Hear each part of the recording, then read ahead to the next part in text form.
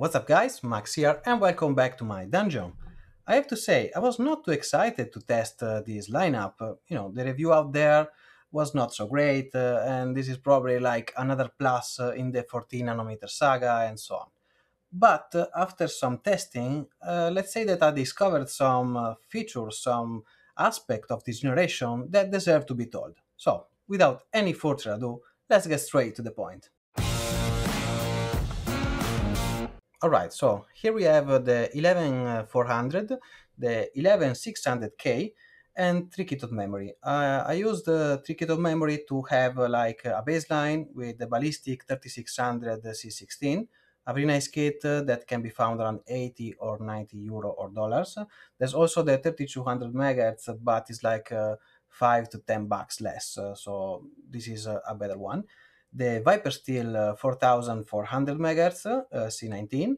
This is another very nice kit. Uh, is a B-die kit that can be found around 120 euro or dollars. And then the Team Group uh, Team Extreme ARGB that is rated 3600 MHz C14. This is, is a very well being B-die kit. And if you are lucky enough, you can find it around 170, 180 euro or dollars that is more or less at par with uh, the best uh, Trident uh, Z, like the 4600 megahertz C18. So it's a very nice kit, well binned. The problem is that it is a bit hard to find, but well, we have three kits: the cheaper one, a mid-range one, and a very expensive one. You will see that in the benchmark.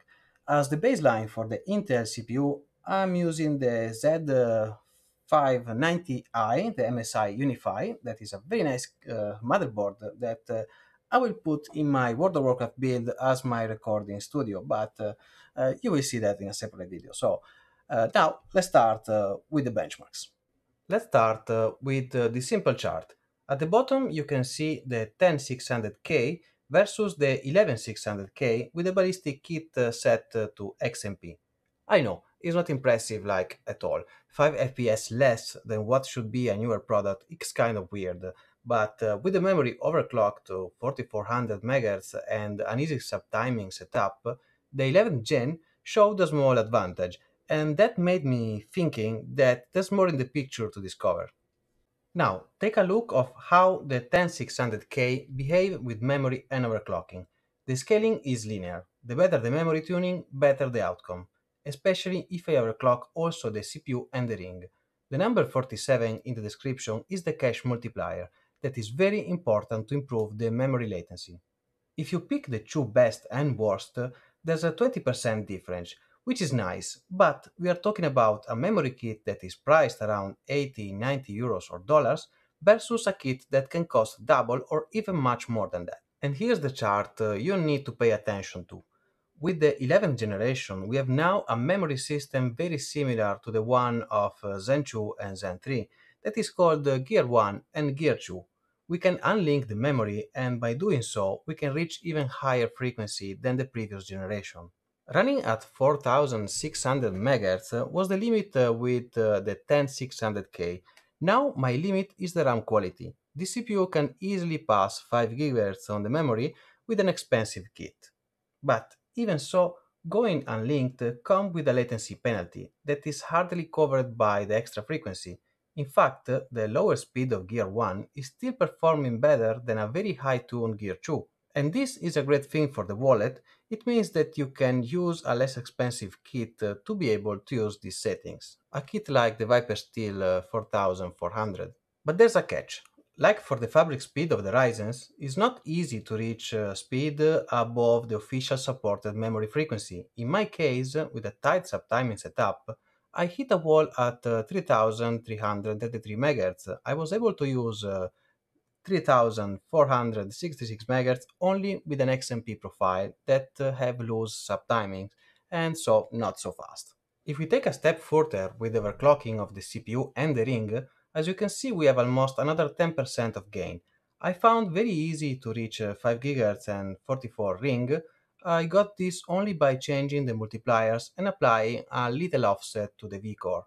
I was also able to do the benchmark uh, at uh, 5.2 all core with two cores set to 5.4 but this was using a voltage that is not safe for daily and I saw that World of Warcraft is not triggering the 2 core boost. This is something I will test more in the future. Maybe there's something more to take here and with the right settings, but uh, uh, also over 5 gigahertz, uh, we start having other bottlenecks elsewhere. So the gains are very minimal uh, versus the effort.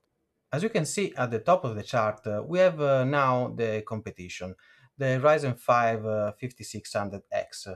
That is 2 FPS faster on average, but uh, definitely slower with the 1% and 0.1% lows.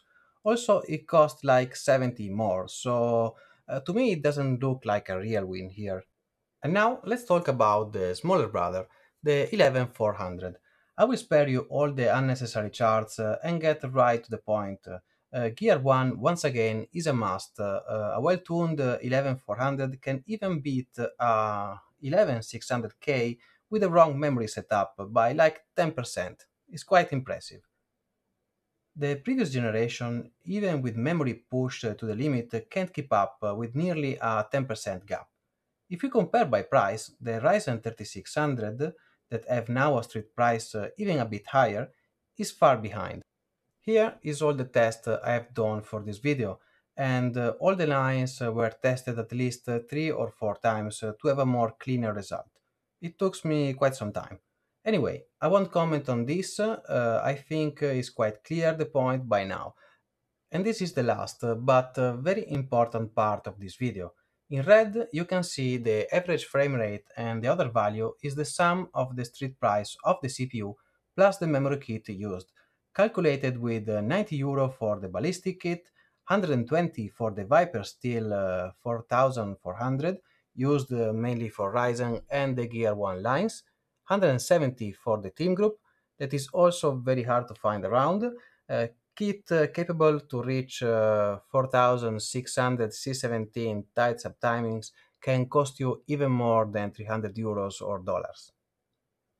Now, in purple is what uh, I can recommend you if you look uh, to buy uh, some components or if you want to refresh your PC. From the top, we have the Ryzen 5800X, that is the actual top performer, uh, especially with paired with the Viper Steel 4400, uh, followed by the 5600X.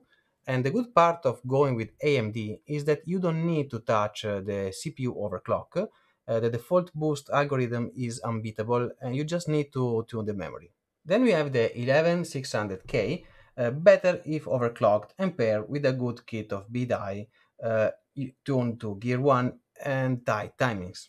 For a lower budget, uh, we have the 10600K that is still a very good deal, especially if you've overclocked and uh, if you want to choose the F version being even a bit cheaper. Also, the 11400 can be a nice option if you don't want or you don't care about overclocking. Alright guys, so in conclusion, uh, the best thing that I see with this generation is that uh, the Gear 1 have the best uh, performance and uh, to have a, good Gear 1 setup, uh, you don't need to buy an expensive memory kit. Uh, you just need like the Viper Steel or some decent B-die that I will try to find some cheap kit with a cheap motherboard and do some guide and tutorials how to do it to make it easier for you.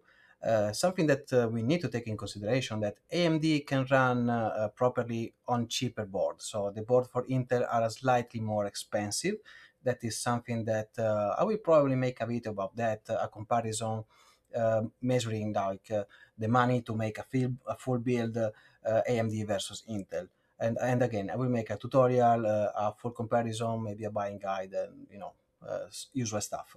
So uh, the point is, uh, this generation was not a total failure by me. Uh, some people say that it's useless, but well, the feature that I just mentioned, I think is enough to have again uh, Uh, a very good competition in the mid-range sector. So uh, if you are looking something that is between 150 or 300 uh, euro or dollars, uh, those two must be taken into consideration if you are looking uh, to upgrade your build because you don't want to wait until the new socket come in both for AMD and Intel. And well, you want a setup that is not super expensive, but you will be able to play your games uh, without uh, any issue at all. All right, so in the next few days, I will try to do some guides and tutorial, even some gameplay to show you uh, the real effect on the memory timing, the memory setup while gaming, something that uh, the charts doesn't tell you. I want to show you exactly uh, if you go with one configuration or another, uh, what is the, the real impact uh, about that choice. If you want to invest time uh, to uh, overclock the memory, to tune the memory, and the, to see the real benefit, the real impact uh, of your choice of investment in time to make this, and you can decide if it's worth or not. And then I have a, a very interesting project going on. Uh, it's going for about some week now, but uh, uh, you will see that uh, will be very interesting. It's about memory, overclocking, and stability in relation of temperature. Trust me, that is something that you don't want to miss. So don't forget to like and subscribe, and see you in the next one.